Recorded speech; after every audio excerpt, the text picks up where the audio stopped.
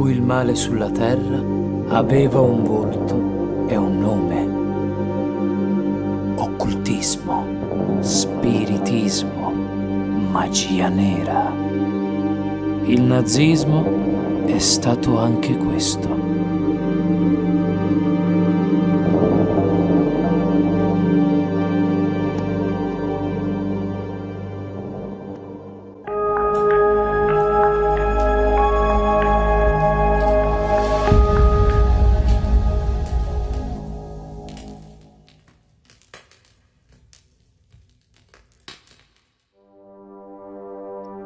Vi sono figure minori nella storia che la attraversano quasi in silenzio, ma che in segreto compiono imprese degne di nota, di cui forse rimane soltanto un eco. Nel 1904, in un piccolo paese tedesco, Michelstadt, nasce Otto Rahn. Fin da giovane, grazie alla madre, sviluppa un profondo interesse per la storia e per la letteratura, che culmina in una laurea in filologia. Il suo pane quotidiano è costituito da miti e leggende, tra cui quella del Graal, un tema ricorrente della letteratura medievale europea. Otto studia testi fondamentali come il Parsival di Wolfram von Eschenbach e la canzone dei Nibelunghi. Un professore universitario, il barone von Gall, lo ispira a studiare il catarismo, ma il giovane non si accontenta di fantasticare sulle pagine dei libri. Zaino in spalla intraprende numerosi viaggi nella Francia meridionale. Con il supporto del mistico e storico Antonin Gadal, fondatore del neo-albigeismo, cammina tra le rovine e i castelli dei Catari, i cosiddetti puri, annientati da una crociata del XIII secolo che ne disperse il sapere. Otto Rahn agiva come un archeologo non ortodosso, che riempiva le lacune con interpretazioni audaci. Trovava che vi fossero analogie tra le credenze dei Catari e quelle dei Druidi, gli antichi sacerdoti celtici, si convinse che i troubadours, i poeti itineranti medievali, fossero catari in clandestinità, che continuarono a diffondere i loro insegnamenti esoterici, celandoli sotto l'apparenza di canzoni d'amore. È così che la donna dal bel viso diveniva non tanto una figura terrena, ma il simbolo della chiesa d'amore catara, ovvero la saggezza divina, in maniera analoga a quanto avveniva nel nord Italia, con la lode della Signora Sapienza da parte dei fedeli d'amore.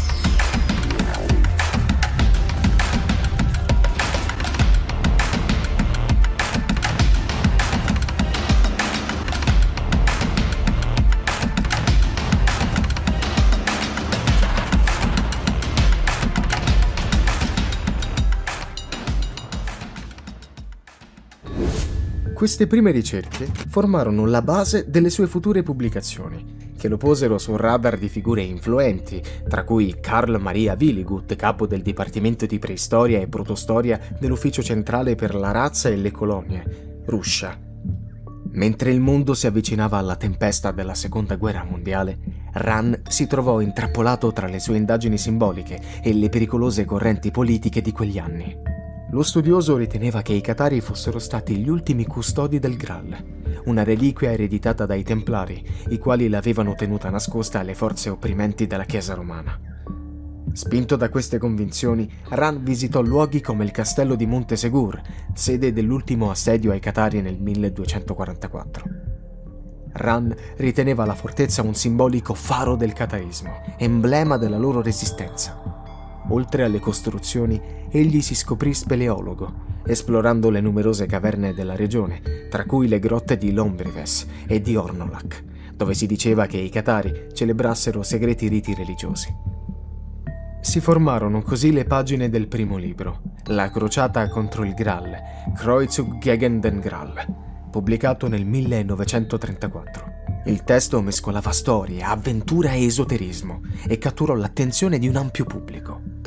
È qui che iniziarono i problemi.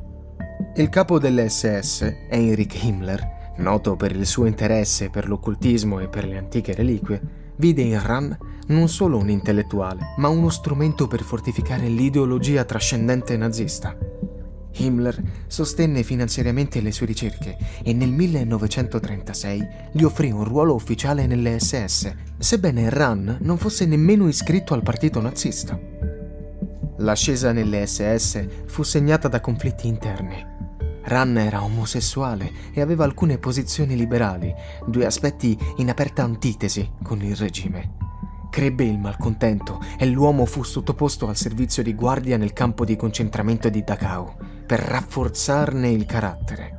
L'incompatibilità con l'ideologia nazista raggiunse il culmine nel febbraio 1939, quando Ran si dimise dalle SS, inorridito dalle atrocità che aveva visto.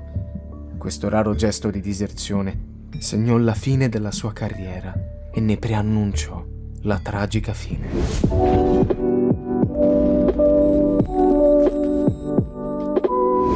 La crociata contro il Graal è l'opera più nota di Ran, ma merita attenzione anche il successivo La corte di Lucifero, Lucifer's Aufgesing, uscito nel 1937.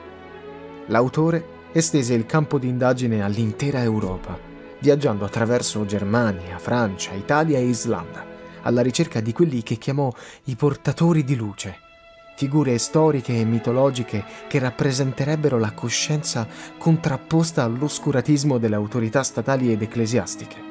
In questo periodo mantenne una frequente corrispondenza con Himmler, che finanziava gli spostamenti ed era già a conoscenza della sua omosessualità.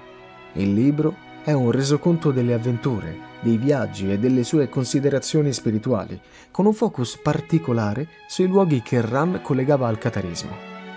L'opera è intrisa di simbolismo esoterico e necessita di un apparato critico, come nell'edizione di Haga editrice. Non mancano nemmeno elementi di critica sociale, che riflettono la lotta interiore del ricercatore tra la sua identità personale e le pressioni dei nazisti.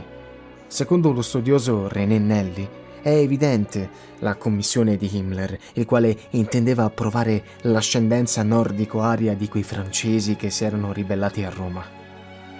Vi è poi la questione aperta dei riferimenti razzisti e antisemiti non presente nella crociata contro il Graal, un particolare che ha fatto pensare a una forzatura da parte di Iran per venire incontro al suo finanziatore.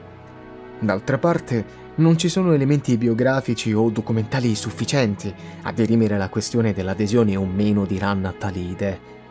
Se è vero che stili e contenuti delle due principali opere differiscano in merito al tema del razzismo, nulla esclude che il pensiero dell'autore fosse effettivamente cambiato negli anni, in una fase precedente al suo arrivo a Dachau.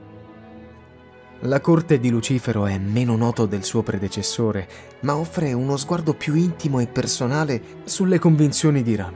In apertura, egli afferma di aver messo insieme gli appunti nel suo piccolo villaggio dell'Alta Assia. Un espediente narrativo che lo porta a ripercorrere le sue origini, fino a concludere con orgoglio che i suoi antenati erano pagani e i suoi avi eretici. Lo studioso torna sui Pirenei, convinto che il Mont Salvatsk del Parsival corrisponda alla foresta selvaggia su cui si erge il castello di Montsecour. Proseguendo il viaggio, si confronta con una figura misteriosa, indicata come M. Rives, che gli fornisce informazioni sul legame tra trovatori provenzali, fedeli d'amore e spiritualità germanica. Rives sostiene che i riti catari della Manisola e del Consolamentum sarebbero identici al costume germanico del bere all'amore, il Minnen Trinken, una pratica di inizio primavera derivata dalle feste di maggio che celebravano l'amore.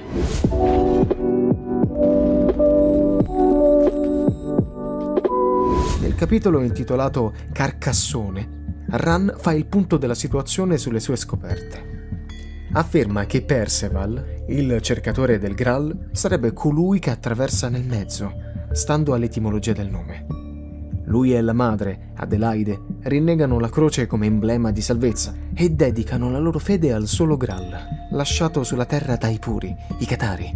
I due erano imparentati con la contessa Esclarmonda di Foix, feudataria del castello di Montsecour, che nel Parsival è colei che sola può portare il Graal. Questo sapere venne trasmesso dal poeta provenzale Guyot de Provence a Wolfram von Eschenbach, quando i due si conobbero nel corso dei festeggiamenti di Magonza, indetti da Federico Barbarossa. Tali informazioni frammentarie sul Graal, rielaborate in aria tedesca, sono quanto sopravvisse alla distruzione dei Catari operata da Roma.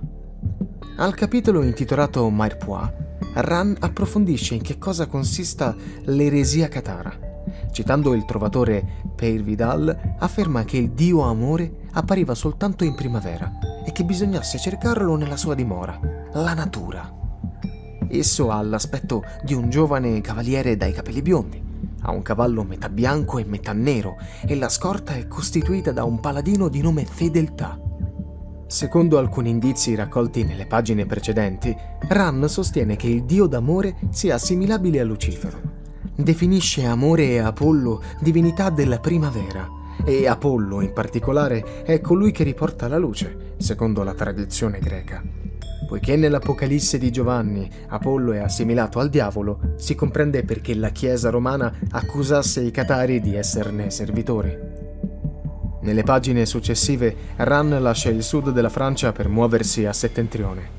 Cita la figura del geografo Pitea di Marsiglia, che intorno al 334 a.C. navigò nel paese degli Iperborei, all'estremo nord. Secondo lo studioso, Pitea non era ispirato soltanto dall'esplorazione di terre ignote, ma era convinto che il nord fosse apollineo, in quanto lì il dio trovava riposo, secondo la tradizione, prima di mostrarsi in primavera al popolo di Delfi, che nei mesi freddi lo pregava, componendo peana in suo onore. Prima di raggiungere le vette d'Europa, Ran si sposta in Tirolo, attraversa il Brennero e raggiunge Ginevra in quel periodo riflette sul torneo della Wartburg, in cui Wolfram von Eschenbach si confrontò in versi col mastro Klinsgor di Ungheria. In quella occasione venne citato il cavaliere del cigno, Lohengrin, che si dice provenisse non da Mont Salvatk, ma da una remota montagna in cui viveva Artù con la sua corte. Lì si troverebbe la pietra Aget, in ambra o magnetite, che si staccò dalla corona di Lucifero.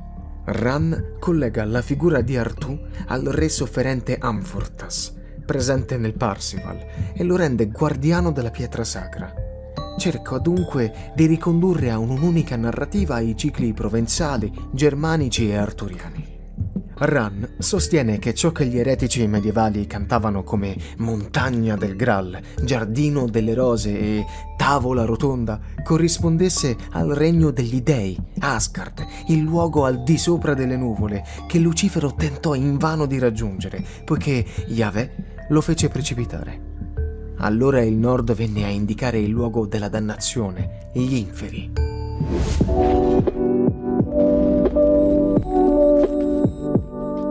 Nel capitolo intitolato Amorbach estende le analogie ben oltre l'Europa e trova connessioni tra il personaggio di Parsival e il mondo centrasiatico, poiché Parsival significherebbe in persiano fiore puro. E persino con il popolo messicano dei Toltechi, i cui antenati, si narra, sarebbero giunti dal paese nordico di Tulla, o Thule, secondo Ram.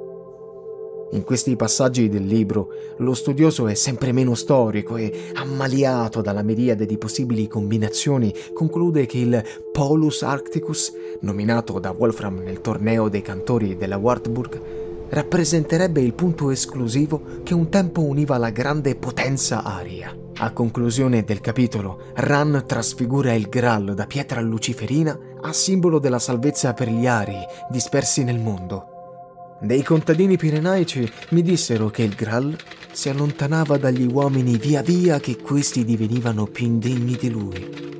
Questa leggenda va intesa anche in senso contrario. Il Graal si avvicinerà agli uomini via via che essi ne diventeranno più degni. Alienatosi il favore delle SS, Otto Ran precipitò in una spirale di declino che culminò nel rinvenimento del suo corpo il 13 marzo 1939 in una gola nei pressi di Sol, in Austria. Il decesso venne considerato un suicidio, mentre Himmler lo presentò come un incidente di alpinismo. Accanto al cadavere, rinvenuto da bambini del luogo, furono trovate due bottiglie vuote, suggerendo l'ipotesi del suicidio per avvelenamento. La sua morte ha comunque alimentato varie teorie e speculazioni. Alcuni sostengono che potrebbe essere stato assassinato, sia per i dissidi con i nazisti, sia perché non divulgasse informazioni compromettenti ottenute in servizio.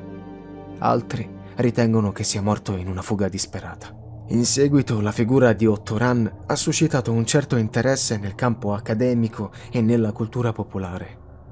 Per esempio, il regista Richard Stanley Ne ha esplorato la biografia nel documentario The Secret Glory del 2001, presentandolo come un uomo diviso tra la sua passione e il coinvolgimento con le SS.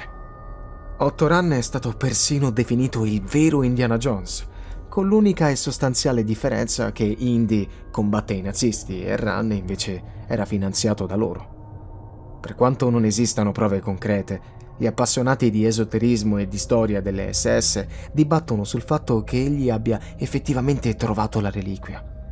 Queste narrazioni, più speculative che storiche, influenzano oggi la percezione su di lui. La sua eredità mostra anche con quanta facilità l'individuo rischi di rimanere invischiato nelle maglie di un'ideologia il cui scopo non è indagare la verità, ma confermare una tesi pregiudiziale.